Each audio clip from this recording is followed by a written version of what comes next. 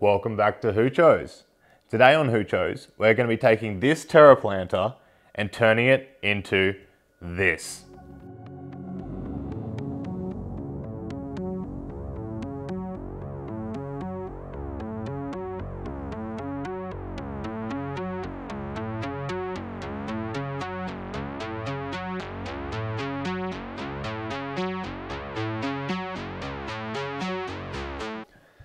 But before we get to that, I'm going to show you how I set up the TerraPlanter and we'll do a time lapse. Straight off the bat, this is actually a clone Terra planter.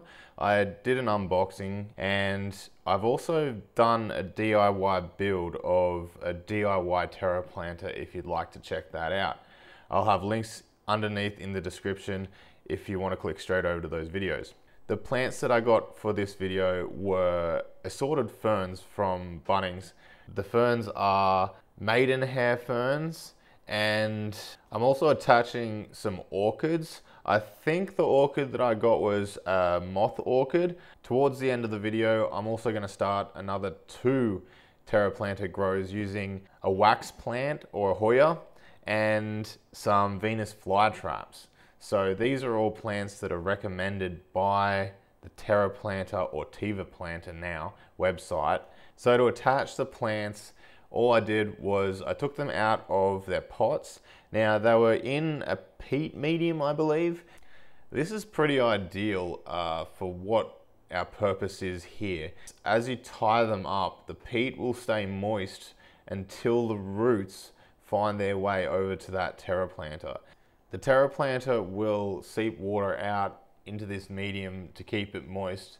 In the meantime, I just tied all these ferns and the orchid to the surface of the Terra Planter with jute twine.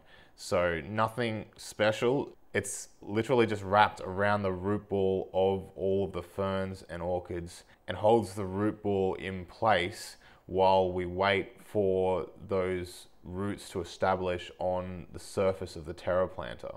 Once I had all the plants attached, I threw it under a grow light. Now I've done a review on this grow light, I'll link the video, and I added in just plain water to start with. Uh, throughout the grow, I progressively stepped up the amount of nutrients and I used a grow high nitrogen hydroponic nutrient for this grow.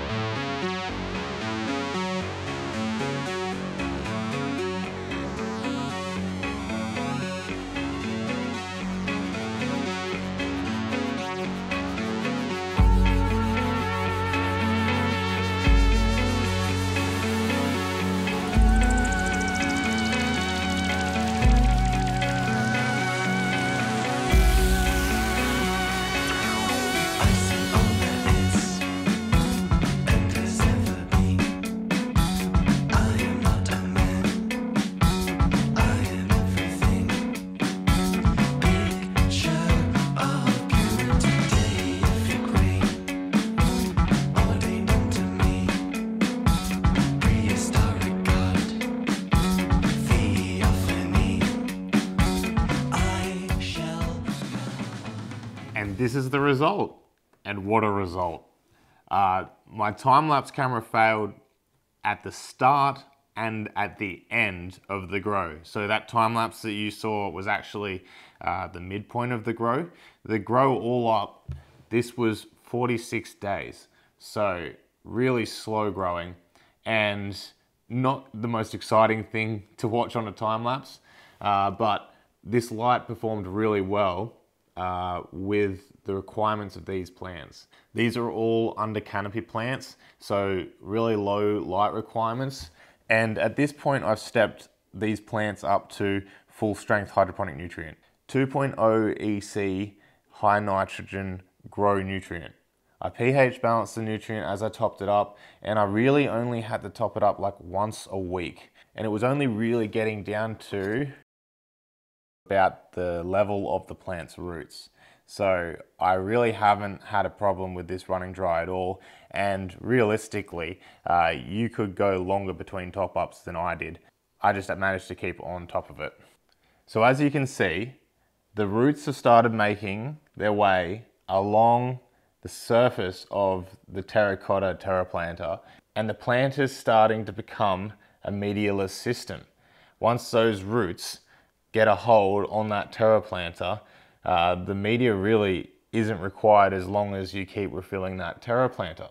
Now, if you search for terraplanter videos on YouTube, you'll come across a few people that have already got cloned terraplanters and have started doing experiments with them.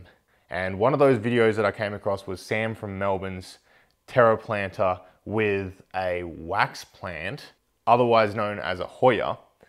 And as you can see in her video here, the wax plant's roots have started making their way down the outside texture of the terraplanter in a really unique way that you can actually see in the terraplanter commercials as well. And I really wanted to achieve this. So what we're gonna do now is we're gonna set up two terraplanters with Hoyas or wax plants. Now these ones are a slightly different species to the one that Sam was using in her video. Uh, her video is linked below, by the way. The leaves are a larger leaf. We'll see if we can have some luck with these and Venus flytraps. Uh, I was obsessed with these as a kid. I mean, there's nothing more prehistoric than a plant that eats insects. And now we're gonna grow them in the most modern way possible. so I'm gonna go ahead and set up these two terraplanters for the next video. And this time I'll try and get a full time lapse for you of this system in growth.